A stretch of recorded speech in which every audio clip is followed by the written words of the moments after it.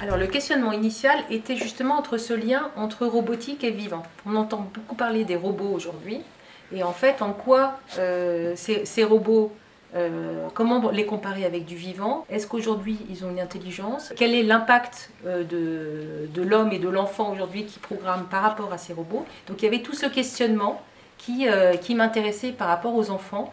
Donc on a beaucoup lu, on a regardé des vidéos euh, parallèlement euh, éducatives sur le, thème des robots.